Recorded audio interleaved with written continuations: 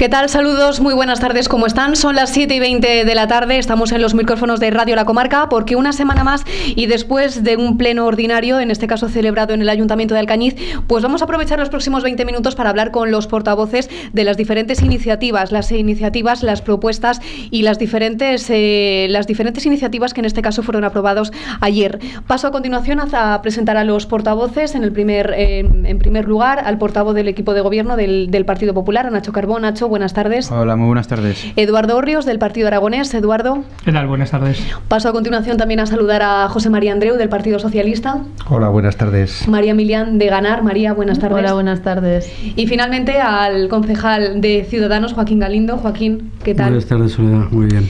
Bueno, pues antes de pasar a hablar, eh, en este caso, de las dos mociones que precisamente presentaba el último de los portavoces, el, portavoz de Ciudadanos, em, quiero que me contéis más o, más o menos eh, el Ayuntamiento de Alcañiz se aprobó ayer la adhesión a la plataforma para impulsar, en este caso, el desdoblamiento, el convertir en autovía la Nacional 232, una apuesta que sí que se ha llevado a cabo desde diferentes instituciones, más allá de, las, los ayuntamientos, de las comarcas, em, por parte de las instituciones, como digo, del Bajo Aragón. Pedisteis, Nacho, en este caso, eh, más allá de esta pura adhesión, que no sea una plataforma, en este caso, politizada y que llegue pues hasta Vinaroz, ¿no? Y que, o sea, que contemple el tramo Bajo Aragonés.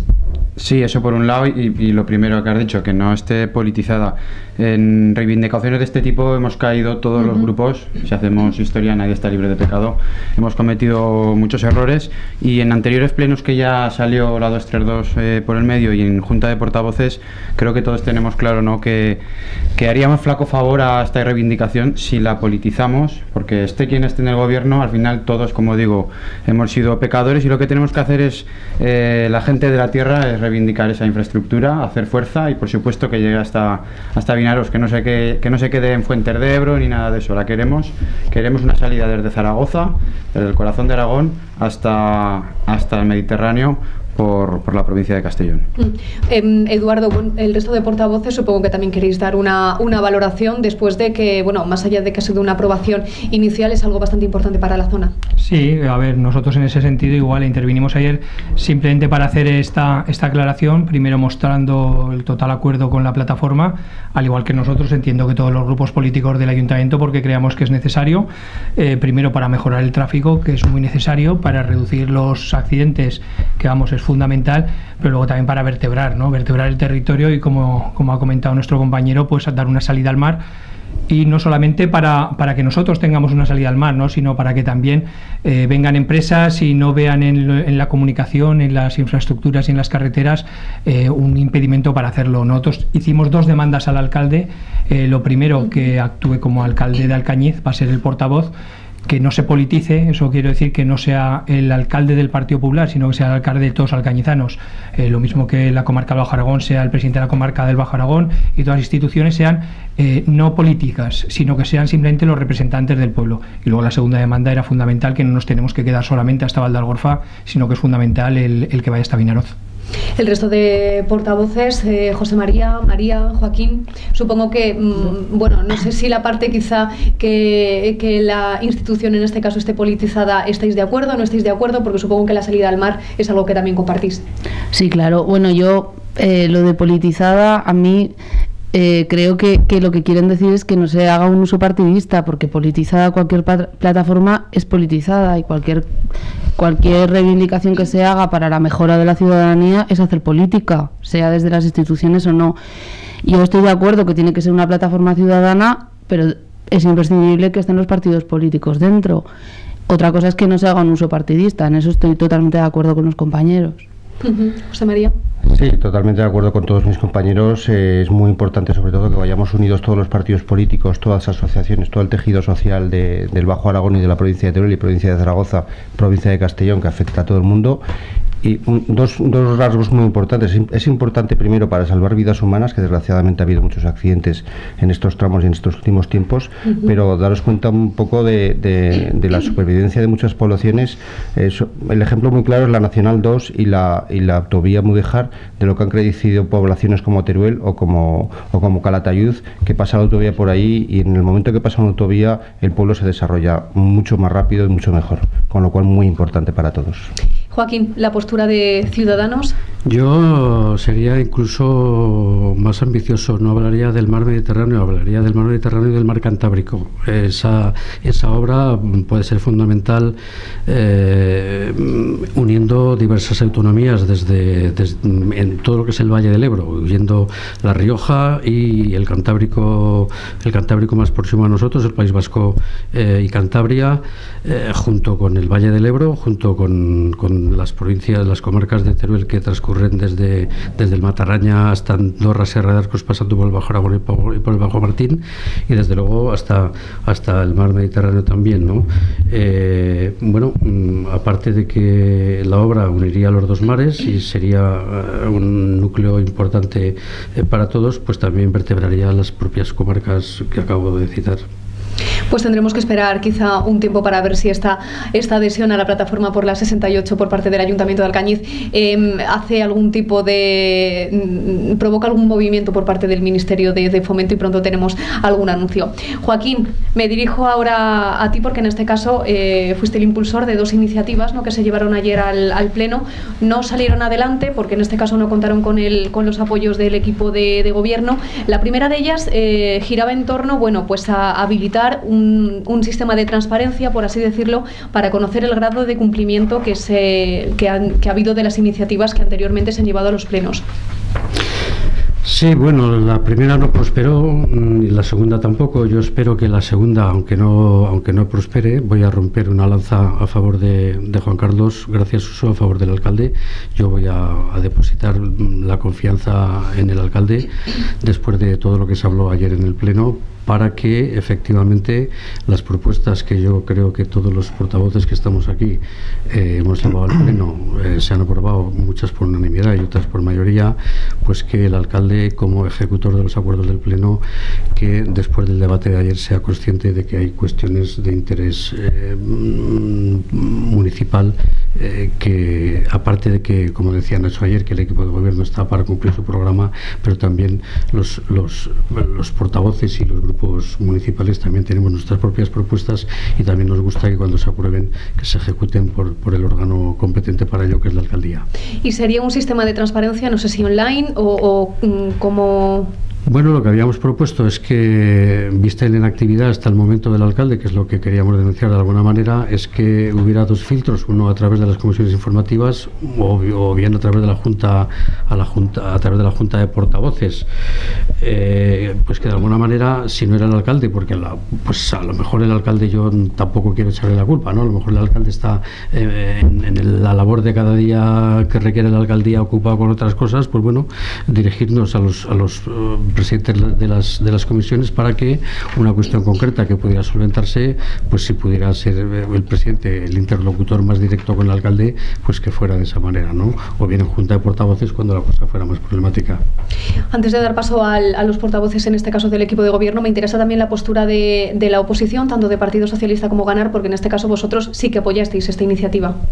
Sí, bueno, nosotros apoyamos la iniciativa y como se dijo ayer, es una cosa que, que lo dice la ley, que hay que cumplirse. Entonces, bueno, un poco la reflexión es esa. Estamos de acuerdo que hay mociones que, que, exigen un recorrido en el tiempo porque hay que incluirlas en partidas presupuestarias porque cuesta tienen unos costes, pero hay otras que son simplemente de voluntad. Entonces, bueno, tanto ayer como, como todas las veces que lo venimos diciendo, apelamos a que, bueno, que, es la falta de voluntad del equipo de gobierno de, dar respuesta a todos esos acuerdos que se llegan. Y el Pleno se trabaja, se debate y tiene que, que los resultados se tienen que plasmar, porque en realidad ahí es donde representamos a la ciudadanía. Es donde nuestro trabajo se, se pone o se plasma de manera colectiva y se llegan a los acuerdos que luego se aprueban. Sí, bueno, lo que ha dicho María, nosotros lo aprobamos primero porque mm, pienso que hay que cumplir la ley. Bueno, creo, creo firmemente que hay que cumplir la ley y, bueno, el reglamento del funcionamiento de los ayuntamientos obliga al alcalde a, sobre todo lo que se ha aprobado por unanimidad, a, ejecutarlo o a intentar ejecutarlo. ¿Qué ha ocurrido? Pues que hemos percibido, hemos visto todos, todos aquí tenemos mociones que se han quedado por unanimidad, además se han aprobado en el, en el órgano supremo del ayuntamiento, que es el pleno del ayuntamiento, y se han quedado en el aire. Estamos ahí Eh, es cierto que se adelantó un poco el debate, que me parece muy bien además, porque es legítimamente Ciudadanos presentó la moción. Nosotros esperábamos a, los, a los presupuestos del 2017 para intentar incorporar todas estas cosas, pero hay, hay mociones de todo el mundo, además de muy poco valor económico e incluso a veces sin valor económico, que se han quedado sin ejecutar. Con lo cual creíamos obligación de, por lo menos del Grupo Municipal Socialista, eh, de además de en, los, en las comisiones, de, pedirlo también, como creo que todo el mundo lo sabe, que se han pedido, creo que todos hemos pedido eh, nuestras mociones que se ejecutasen a través de las comisiones, pero creo que a través del Pleno también es bueno denunciar y pedir que se ejecuten esas, esas mociones. ¿Y qué dice el equipo de gobierno, Nacho, Eduardo? Bueno, nosotros, a ver, totalmente de acuerdo, le dijimos que estamos totalmente de acuerdo que los acuerdos de Pleno se han de cumplir. Lo que no estamos de acuerdo es la manera de la que se desarrolló la moción. Nosotros estamos de acuerdo que se debe hacer, incluso yo te puedo hablar por experiencia de la delegación que, que asumí en el mes de septiembre, todos los acuerdos de, de pleno que han venido en el, en el, tema de deportes los hemos llevado y los estamos estudiando y los estamos trabajando, incluso los estamos llevando, derivando a otras delegaciones siempre y cuando por temas de de implantación de suelo, por temas también del tema de wifi de llevarlo a promoción económica, siempre hemos intentado derivarlo y nosotros es que somos partícipes de hacerlo en las comisiones y trabajar en las comisiones. Lo mismo que ha comentado ahora mismo José Mari, entiendo que también se metan las enmiendas en los presupuestos para que estas eh, para que las que se aprueban en el pleno se lleve a cabo. Lo que no entendíamos es el círculo vicioso de volver a llevar otra vez esto a pleno para que otra vez se vuelva a aprobar. Yo estoy totalmente de acuerdo y en eso estoy conforme de que se tienen que llevar, porque así lo ha ejecutado y así lo ha dicho el pleno municipal, pero vamos a llevarlo donde lo tenemos que llevar, que son las comisiones de trabajo, lo que se trabaja todos los días en el ayuntamiento. Nacho. Sí, a ver, nosotros votamos en contra porque es cierto que por lo que se aprueba en pleno, ¿no? Pues parece que tenga que, o sea, se tiene que cumplir, pero las mociones, eh, de alguna manera, lo que muchas veces se trata es de, de poner entre la espada y la pared ¿no? al equipo de gobierno y gobernar con mociones al gobierno tampoco creemos que es lo correcto. Sí que es cierto que, que hemos aprobado diferentes mociones en, en anteriores plenos y algunas está claro que no se están cumpliendo todavía, pero sí que muchas se han iniciado por lo menos los pasos. ¿Que podrían ser más rápidos? Sí, pero que tratar de que las mociones, que a través de mociones se gobierne al, gobierno, pues para eso no, la posición está para controlar al, al equipo de gobierno, pero no para intentar eh, eh, introducir mociones en pleno para, para, intentar sacar sus propuestas de esa manera. Creemos que la manera más correcta es trabajar en comisión, donde están los técnicos, donde se, se, se habla de manera más más sosegada, no, no, con tanto debate político, con los técnicos de por medio. Eh, eso en comisión. Luego, la herramienta final para que eso se ejecute es en el presupuesto eh, de cada año, de cada ejercicio. Y ahí es donde cada grupo, a través de sus enmiendas, puede hacer eh, posible introducir una, una, inversión que cree, que cree oportuna para, para el Cañiz. Y si el equipo de turno del, gobierno acepta esas enmiendas, pues eso en el ejercicio en el presupuesto que se aprueba, ¿no? Luego puede hacer realidad esas, esas propuestas que luego la oposición también las puede vender de cara al Cañiz como que han sido propuestas suyas, no hay ningún problema.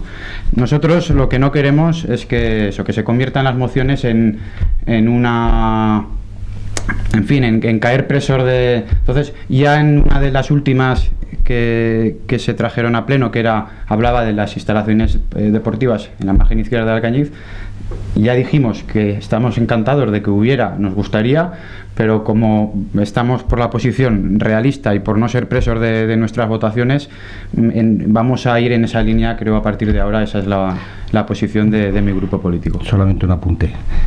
Eh, nos encantaría que, en los presupuestos se aprobara, pero te de recordar que en los presupuestos del 2016 a estos tres grupos de aquí no se les aprobó ni una coma ni una coma. Yo por puntualizar también una cosa, José María, perdona, pero todas las mociones que habíais hecho no había ni una sola enmienda encaminada a vuestras mociones. Y una cosa, eh, sí que había alguna, sí, pero vas equivocado porque la moción de que hablas tú, que la presentamos nosotros de, sobre el polideportivo en el pabellón eh, municipal en la margen izquierda, el señor Orrios, que está aquí, Eduardo, eh, ha empezado los trámites con lo cual nos alegramos muchísimo. Empezado los trámites. Ha empezado a trabajar. ¿Qué es lo que queríamos? ¿Qué es lo que queríamos? Nosotros nos comprometimos, no solamente, no, no, nos comprometimos a hacer el polideportivo, nos, nos comprometimos a ir avanzando, a ir avanzando pasos y el primer paso, ya lo dije, es que la margen izquierda no cuenta con suelo propio para instalaciones deportivas. Pero ya ha empezado. Entonces, eh, vamos dando pasos, no un paso eh, a corto plazo, sino que vamos a dar un paso a largo plazo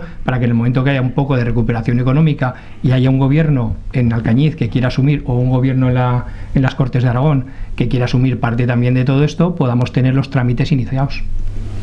Y por supuesto nos parecerá muy bien, ¿eh? ojalá. Si no se consiguió en la época de vacas gordas, si por lo menos vamos allanando el terreno para dentro de 40 años, pues estaremos encantados. Yo lo que sí que querría decir es que, eh, por supuesto que no se aprueban todas las enmiendas que se hacen a un presupuesto.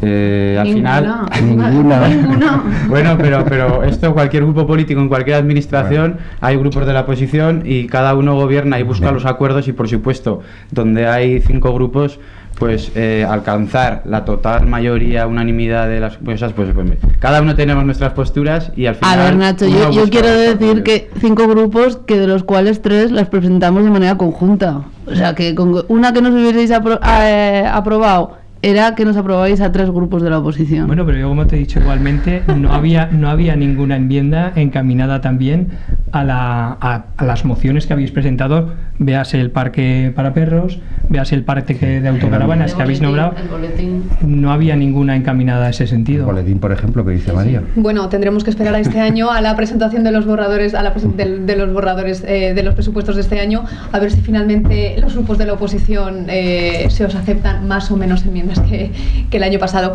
Joaquín, que nos queda una, una de las, la segunda de las mociones que también llevaste al, al pleno. Quedan tres minutos, explícalas un poco. Tres minutos, eh, tres minutos muy interesantes para poner de manifiesto la doble vara de medir del Partido Popular y el Partido Aragonés. Barbastro, población similar a la del Cañiz, eh, provincia de Huesca. Mismas representaciones políticas que en el Ayuntamiento del Cañiz, mismos grupos eh, municipales.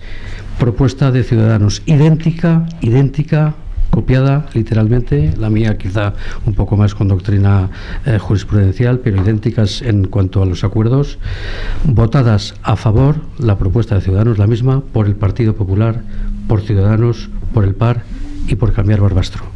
No sé qué ocurre con el Partido Popular de Alcañiz, no sé qué ocurre con el Partido Aragonés de Alcañiz, que o unos u otros piensan distinto. Los de Barbastro, los populares de Barbastro, los aragonesistas de Barbastro piensan distinto a los del Cañiz. Misma propuesta, distinta manera de venir. Propuesta sobre la publicidad institucional. Reglamento de publicidad institucional. Como lo que estamos haciendo hoy aquí, pluralismo político, nada se podía otra cosa. Y el resto de grupos, en este caso, pues igual que en la que en la iniciativa, que en la moción pasada, ¿no? Oposición a favor y el equipo de gobierno. Os desmarcasteis un poco, Nacho. No, mira, al final esto, eh, lo, lo- dije ayer en el Pleno, esto al final el que está en el gobierno, el que está en la oposición, cada uno lo ve de una manera. El que está en la oposición, pues cualquier tipo de, de exposición pública con medios, eh, de, una obra, de, ejecución de, no sé, de cualquier tipo de inversión, o en el área de cultura, el salir presentando pues todo eso, es- parece que es eh, que todo esto está al servicio de- del partido político de turno que está en el gobierno. Eh, no es así, al final, cuando se inaugure la 232, también lo nombré ayer, pues seguramente y, y seguro el que estará allí es el ministro de Fomento y no estará el señor de la líder de la oposición allí. Entonces, al final, eh, un poco la línea, lo ha explicado muy brevemente hoy Joaquín, el señor Galindo, pero es que, claro, es que iba con mala leche con el alcalde. Yo, eh, claro, pues si, si le fastidia que salga el alcalde en foto, siendo el alcalde de Alcañiz, pues es que cuando sea el alcalde saldrá él y nos tendremos que los demás eh, fastidiar, entre comillas. Esto es así, o sea, no. Nos quedan 40 segundos. Al, eh, Bueno, yo quería decir que nosotros apoyamos la moción porque en realidad nos parece escandalosas las cifras que se gastan en publicidad institucional en el Ayuntamiento de Alcañiz, que son más de 100.000 euros. Y ayer me hacía el Partido de Aragones una comparación con el Ayuntamiento de Madrid, que gasta 11 millones, y haciendo el porcentaje de, de su presupuesto es 0,3. Aquí se gasta 0,6. Entonces, está bien que haya publicidad institucional, pero no esas cantidades. Se nos acaba el tiempo. Llegamos así a las 8 menos 20 de la tarde. Como siempre, más información en los micrófonos de la comarca. Buenas tardes.